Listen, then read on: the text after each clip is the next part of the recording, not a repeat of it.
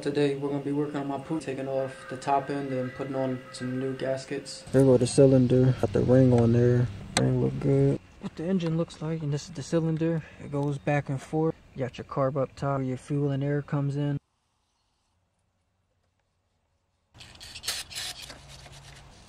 I ended up snapping the ring and I'm gonna have to order some new piston rings. Because the new piston rings that I got don't look like they fit, so I'm gonna go order some original ones from the factory. Let's see, John is clean. If we didn't mess up the rings, we would have been able to ride it. But now we gotta wait.